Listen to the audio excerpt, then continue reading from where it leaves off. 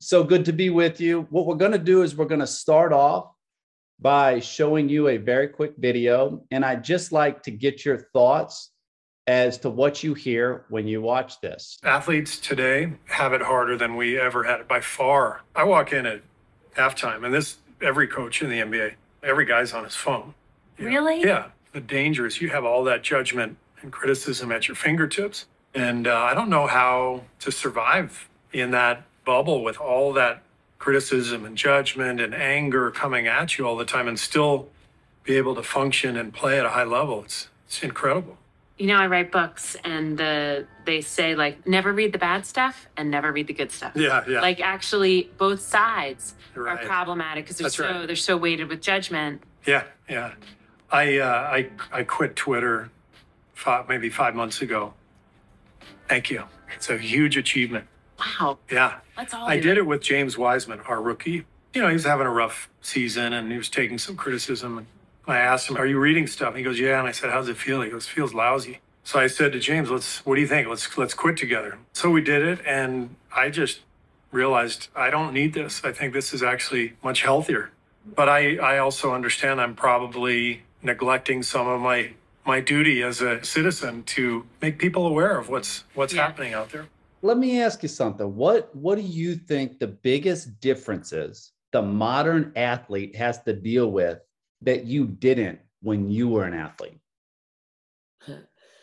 Probably the, the, the biggest is is probably parents. Parents. That's the number one thing. I mean, here's why, and I, I get it, because when I first got into coaching, I was actually younger than than my parents.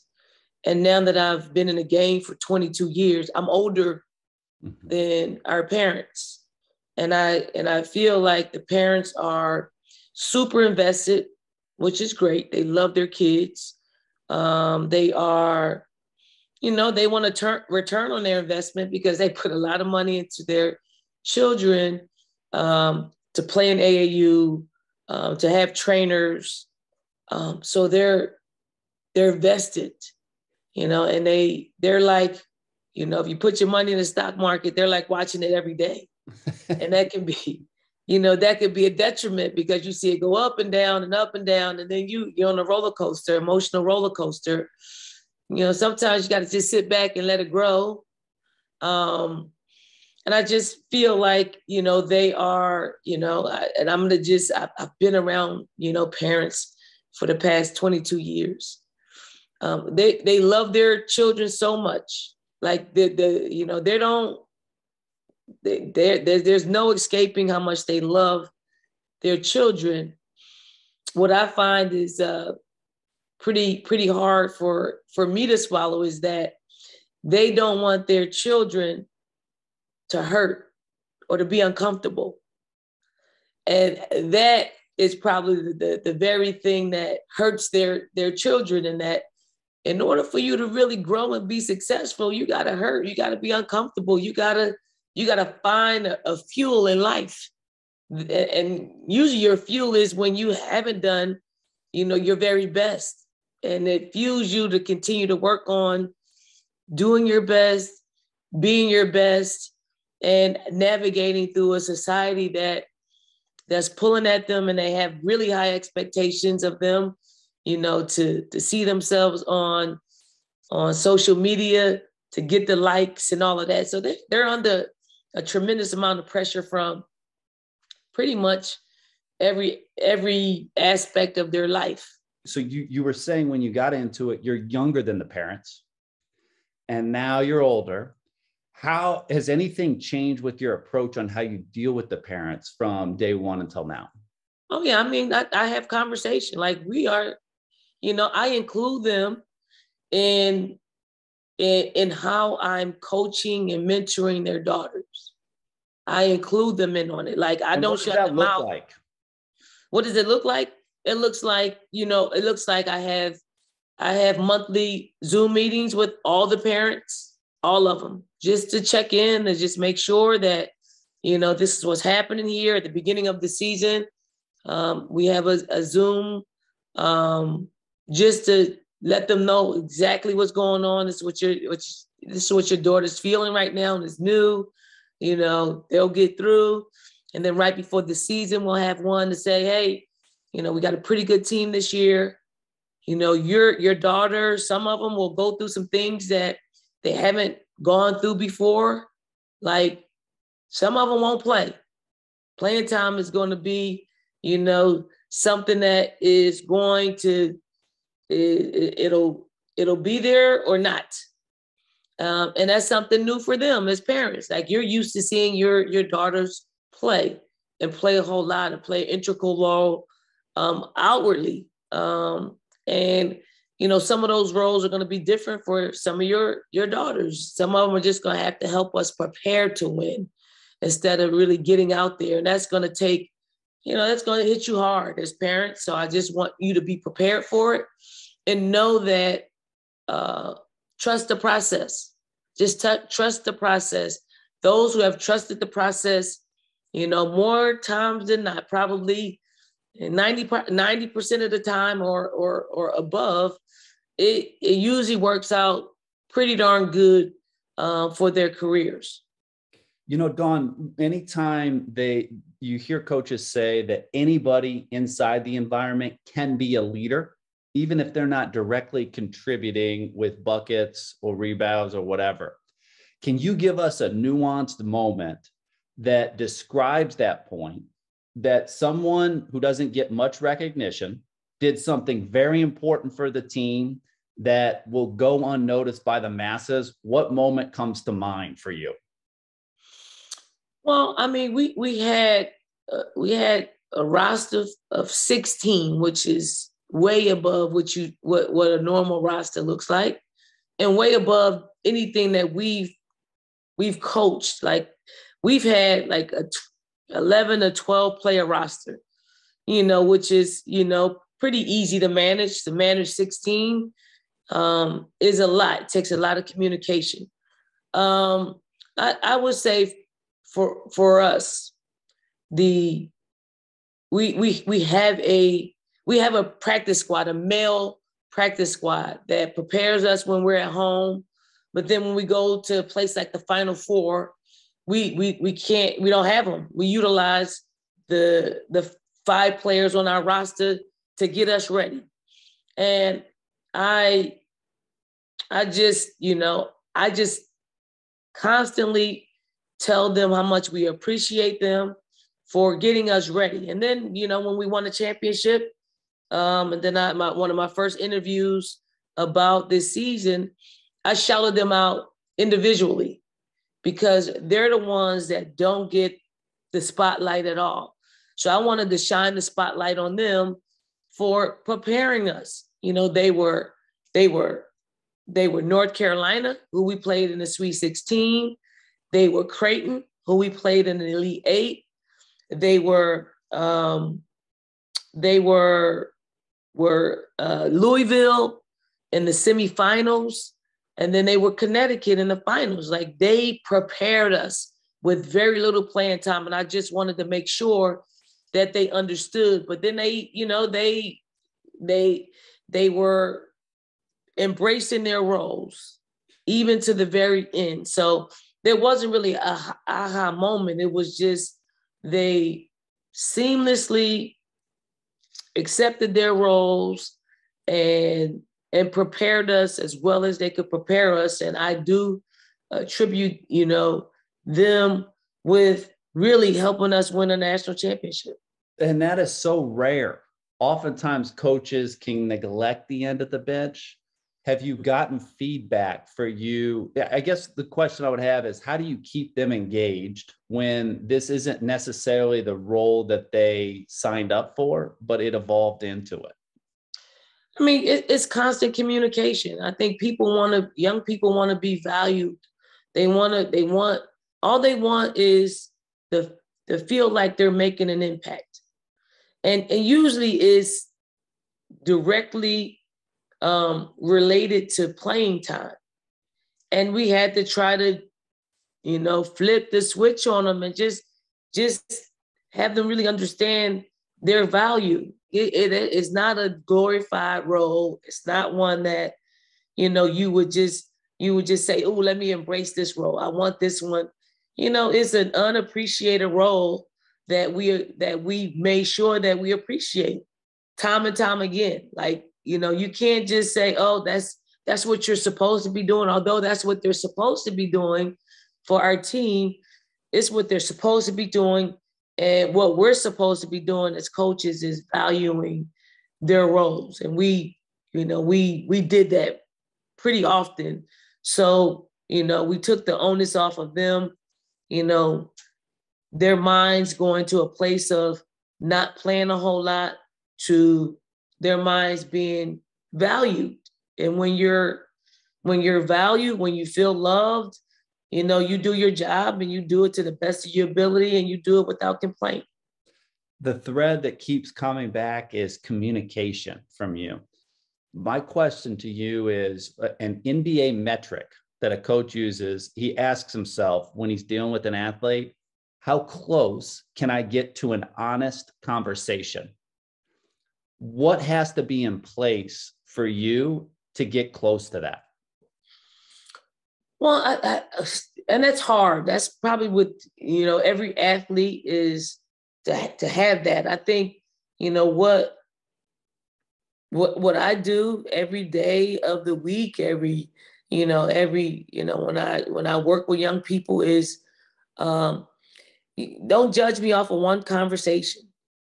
Judge me over the time that I've interacted with you, and that's what young people want. They want they Why want to say that because they they want they want you to trust them, and you want them to trust you, and trust is and I just had a conversation with one of our younger players yesterday. And I, I really had to explain to her trust isn't isn't the only form of you receiving it. Like she wanted certain things to happen um, during one of the during one of the worst times in in her career, her young career. She wanted us to be a certain way. And we in turn wanted her to be a certain way. and we we never got there. But the fact that I had to explain to her, like, we're we're not your parents. Like, we're not gonna trust you like your parents because your your parents had 18 years to build that trust. And you had 18 years to build the trust with them. I mean, we don't have that. This is our first year together. So, and, and you have to understand that trust comes in different forms. Like I told her, you know, she did something that, you know, that hurt our team, and she she didn't apologize, which I'm okay with because you know most young people don't really understand how to. Do you, you know, address to, it with the whole team collectively when that no. happens? You just let it ride. No, I don't address it with the whole team because that's not how they operate. So I, I told her that the fact that you came to practice, this happened a while ago, but I had to, but it came back up in our end of the year meeting. So she wanted, she wanted us to, to act a certain way towards her. Um, and, and we, we didn't, we didn't give her that, you know, so she took that as, you know, her not trusting us because we didn't respond in the way that she wanted us. And I said, "Well, you didn't apologize and you didn't you didn't respond in the way that we wanted, but what you did do is you practiced hard and you prepared us." And that was that was an apology in itself because you didn't you didn't uh you you didn't, you know, you you didn't you didn't you didn't outwardly um give us any any issues you didn't fold you know you were actually more vibrant and you had some of your best practices of, of the entire year that's powerful. when that happened. And i said that is you know that's me trusting you. That's me trusting you you know then to put you in a game to put you you know in the tournament is me trusting you. And i just had to explain to her trust is you got to open your heart up to for for for trusting in in, in a variety of ways because what makes it hard for that- young people, Dawn, to hear you when you're saying that? say that again. What makes it hard for young people to hear you when you're saying that? because it's different, you know. I mean, young people, you know, no matter and, and basketball players and athletes, we're creatures of habit. So we're used to hearing, you know, the same things and we're used to doing the same things. We got, you know, we just have, you know, we're habitual when it comes to our stuff and anything that's different. I mean, it, it throws our equilibrium off a little bit. But again, don't trust me off of one conversation. Don't trust anyone off of one conversation because you know we can you know we're we're we're great with words we're recruiters you know we are we are people who are pretty persuasive um you know but we are people that sooner or later who we are will come out who we genuinely and organically are you know, will come out. And as young people, you're either going to like it or not, and that's that's on that's on each individual person to figure that out.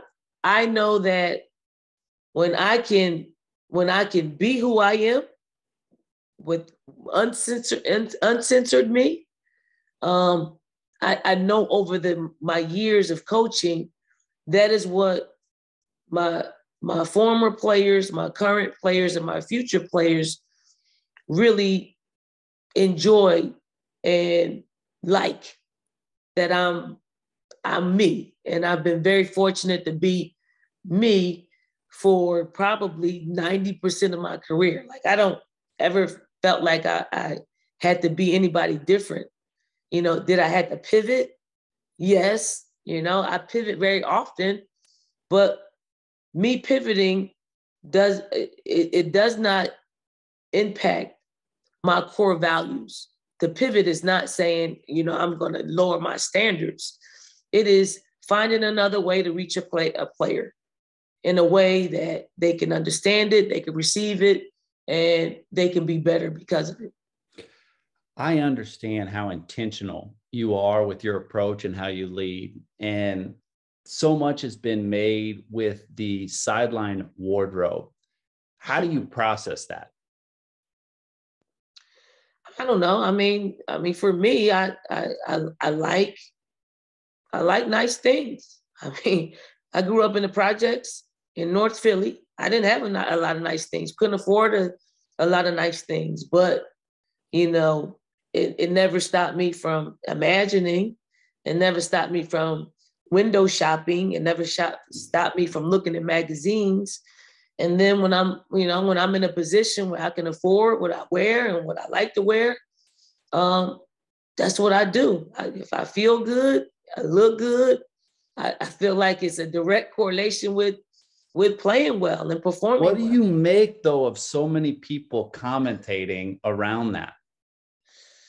I mean, it's. I mean, our game is full of narratives. So it's just one more narrative that, you know, some people like it, some people don't, some people, you know, it's it's commentary, you know, it, it is a, a layer to to our game, man. You know, if it's if if they're talking about what I'm wearing um during a game means somebody's watching. I prefer I prefer them watching watching women's basketball. Hey man, you know it's so funny because I think the higher ups are like, well, what about Under Armour? What about this? And they again, like you said, make narratives.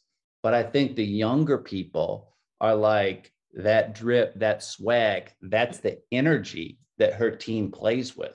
How do you think about that? I mean, it's true. I mean, young people are, you know, young people are um, you know, they like the labels, they like the materialistic stuff um, you know, I mean, I I like it too, but I can afford it. Like, you know, I don't know if they can they can afford it.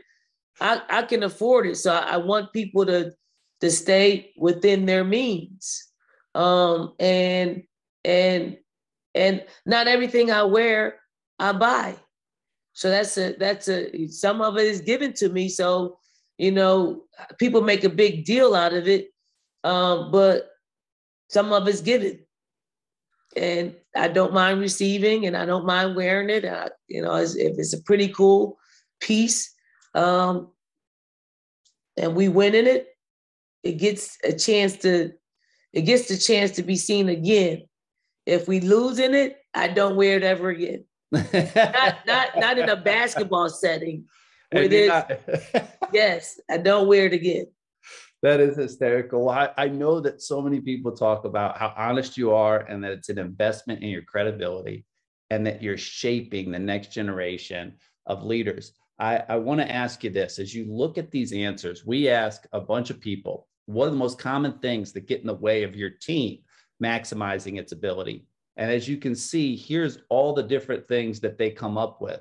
My question to you is as you're developing your leadership inside your team, what is the leader's role in attacking these issues in your mind? Leaders lead different ways. Like, I, I want our players to be as authentic to themselves as possible um, so well, this is what we do to find out who's who's going to be our captains, our leaders. Anybody that wants to be a captain must um, let us know. That's one. Raise your hand. Okay. After you raise your hand, you know we, we figure out how many people want to be leaders, and we bring them up to the room, right? And our entire program. That's everybody: players, coaches, you know, support staff. We're all in one room. And we basically ask them why they want to be leaders. They got to answer them. And then we we just fire off different questions to them.